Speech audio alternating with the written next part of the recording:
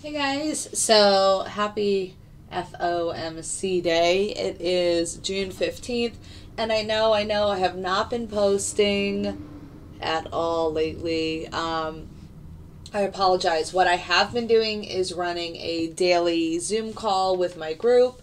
Um, so when I've been doing that, um, I haven't been able to actually take pictures or do other things um, or videos and I've kind of been slacking. So I apologize.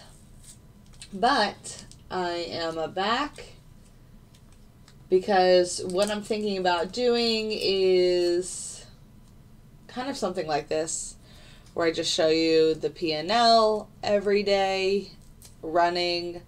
Um, I might even just go on YouTube live and do it that way.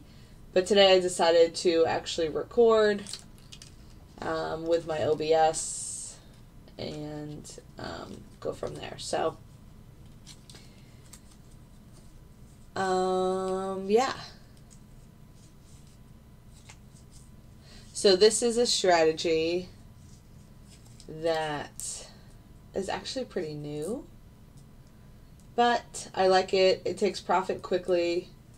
Obviously, it has the potential to have a bigger loss but I'm going to I'm talking to my developer about that to um, possibly have it changed. So you can see right there, target hit, um, and the balance was updated.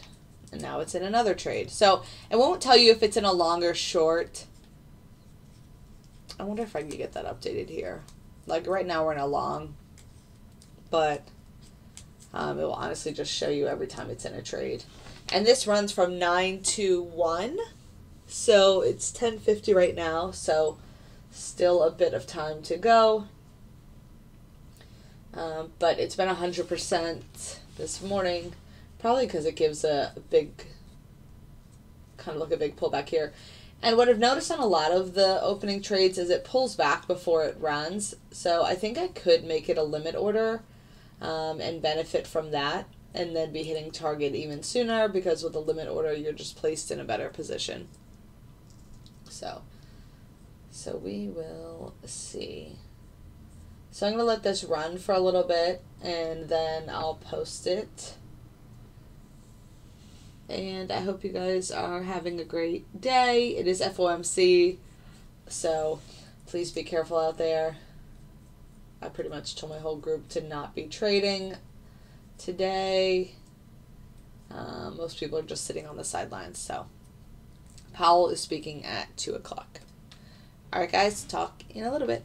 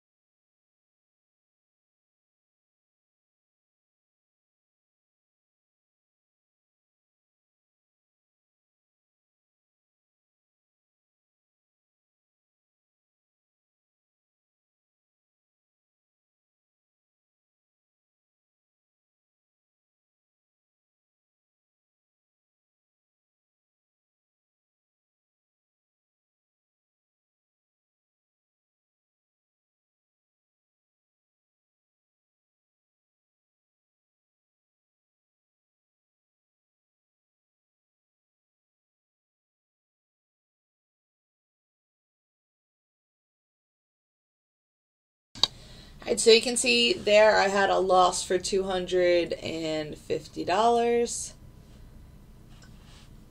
Let me check something. Alright. I gotta pull this up. I can't see the bottom of this. It's so weird.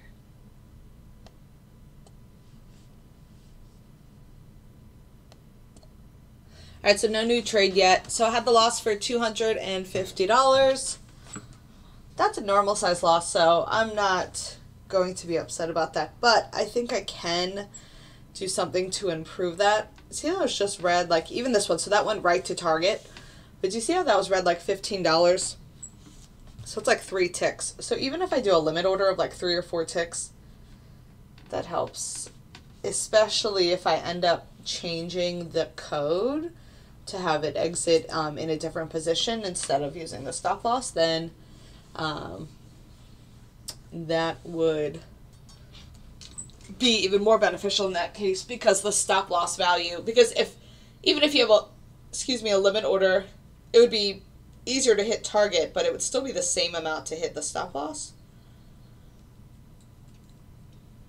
Therefore if I change the way my stop loss works then it would benefit it wouldn't be like there would still be a hard stop but um, with a limit order, then my stop loss would be smaller.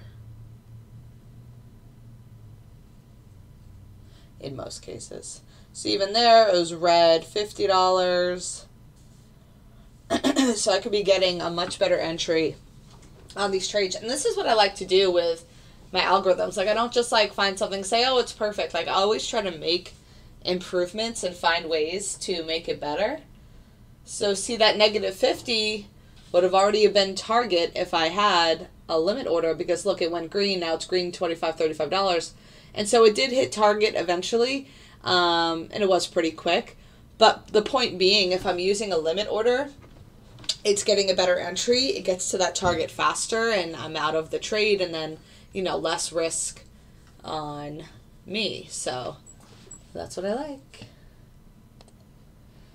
All right, so I'm going to let this run a little bit longer.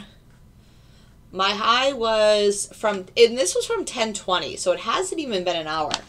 This was 1020 to 1050 was 100%, and it was like $700. Now it had one loss. It's back up to 600 uh, or 545 here. This P&L actually includes a trade that I had earlier before 1020. So that's why it says 545, but in my because um, that's like the actual account P&L, but on this strategy P&L, it's green 600, so it's it's $50 more. Um, so it was up to 700 and then it went to 550 and now it's back to 600. So um, we will see if it gets another trade here.